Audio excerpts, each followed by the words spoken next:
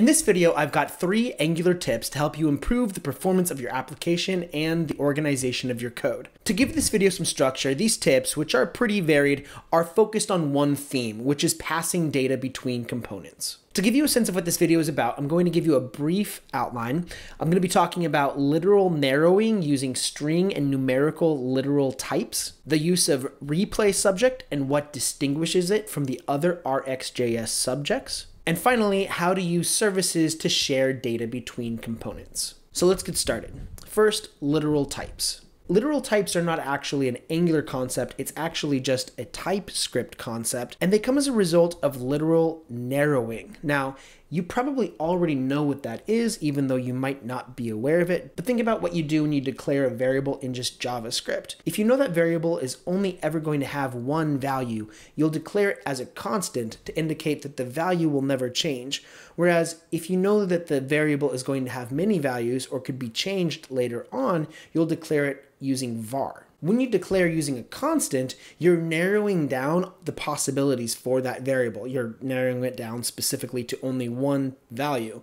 And so this is literal narrowing. However, TypeScript gives another way of doing literal narrowing. For example, in this gradebook application, there are various types of assignments. There can be normal assignments, exams, assessments, observations. However, the whole set of these values is finite. Now, typically what I would do when I declare the assignment interface and I listed all of its fields, for type, I would declare that as a string, since the type is all defined by strings, assessment, exam, assignment, etc. But by using string literals, I can actually be more specific about what those strings can be. So instead of saying the type is a string, I would say the type is an assignment type. And that would mean that it's a string where the string can only be any of those finite values. You can also use numeric types, which is a way of defining a type as a number, but specifying which values are valid.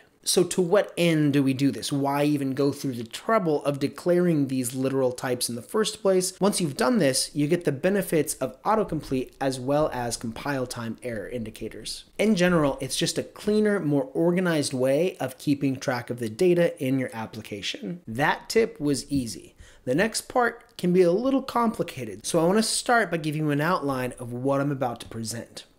Here's the idea. In this example, I have an app that's used for keeping track of data in every class that you're assigned to. So in this example, the data that we're focusing on is that class data. The class data is retrieved at login, it's used to populate the gradebook view, and when the user navigates over to the reports view, this same data is used to populate that view as well. Now, of course, I don't want to have to access that data more than once. I can do that using one service, which I'll talk about in a little bit populate both views. So what's the best way to do that? If I'm going to get the data one time and I want to use it every time I go to another view, how do I do that effectively? So the answer that I present to you is a replay subject. What is a replay subject? What is a subject? A subject any type of subject, is a type of observable, but it's designed to be more efficient when being observed by multiple observers. In your Angular applications, especially your large ones, you're going to find that many components are going to be observing the same source of data. Let me start off by saying if you have any confusion about subjects, if you'd like more clarification on RxJS and the documentation behind it, I do have several introductory videos to help you become familiar with the vocabulary and the often confused terms. I highly recommend it. If you're already a little bit familiar and maybe just need a reminder, let me break it down like this.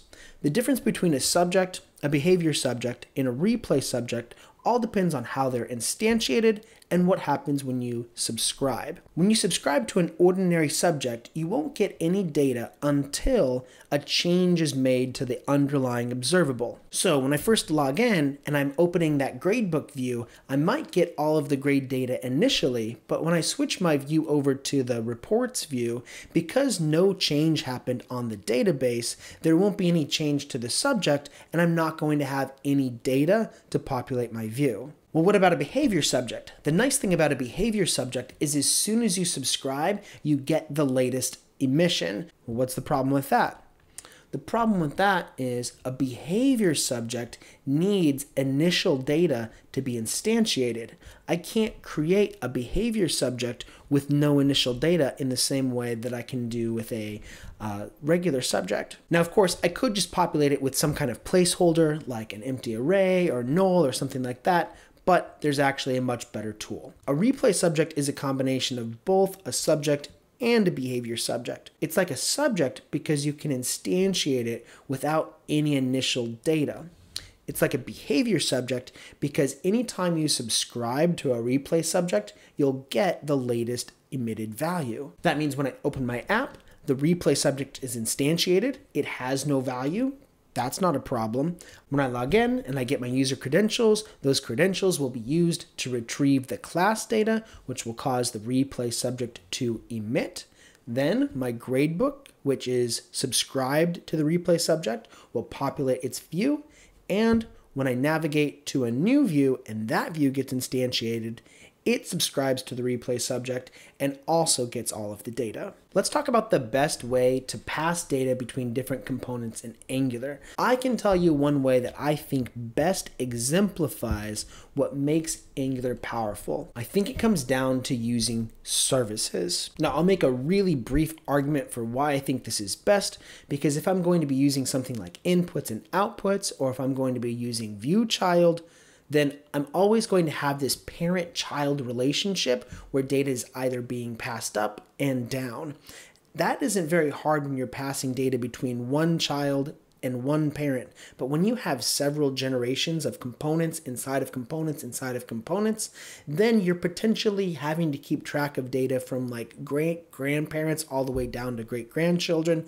And it can get very tedious to refactor code once something changes and you need to go through every generation and update it. Services are an incredible feature because they get instantiated when they're needed, which is whenever they're injected into components, and that injection happens automatically in a hierarchy of components, great grandparent all the way down to great grandchild.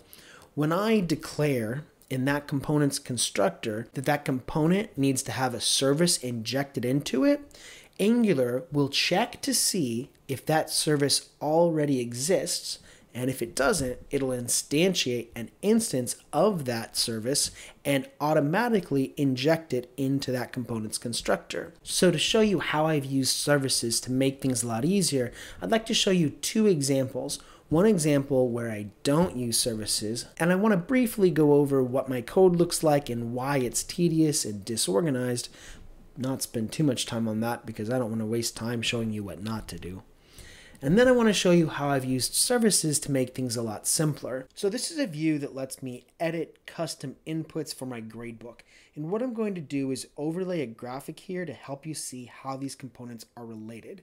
We basically have three levels. Now let's take a look at the code for this. What I want you to notice here is the redundancy in inputs and outputs for the parent and the child. They're all getting their information from that grandparent. There's a lot that could be said about this, but what I don't like is the redundancy, and I don't like keeping track of these inputs and outputs. There's a more elegant way to do it, and I'm going to show you right now. This is a function that lets me preview reports for students. So you can see right now I've got Alice and Douglas selected, and the class that I'm looking at is the demo class. If I jump over into the student view, I can see what the student would see when they log in. So I jump over there and you can see that once again, I have Alice and Douglas selected and the demo class.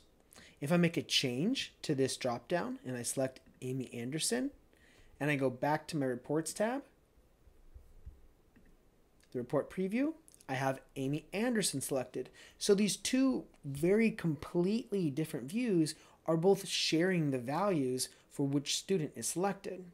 How are they doing that? So what I have here is a class called Data Target Service, and it's basically a service that keeps track of all of the selectable values that need to be shared across the entire app. You see I've got a replay subject right here for class targets. Down here I've got the setter and the getter for class target. And nothing very exciting about this. It calls the next function on the uh, subject that keeps track of the class targets. And then for the getter, I'm just returning the the observable, which in this case is a replay subject. Here's what's very interesting. If I go over to class target select component, you'll see it doesn't have any inputs or outputs at all. All it has is a constructor that injects data target service. And you can see that whenever there's a change to the value, it simply calls set class target for the data target service. And when it syncs up, like when it gets instantiated and it needs to get any values, if they have been defined, we just subscribe to class targets and we set the selected items to whatever the uh, class target happens to be. So without any dependencies on a parent at all, this individual component can always keep up to date with whatever the value is across the entire app. The service is persistent, so whenever one of these components gets instantiated, that service is going to get injected into the component and the most recent value will always be emitted into this subscription right here. In summary, if I have a data model, I'm going to use literal types to be more specific about what the values can be for each of the fields in that data model. When I retrieve that data from a server, I'm going to store it using a replay subject, and I'm going to keep that replay subject inside of a service.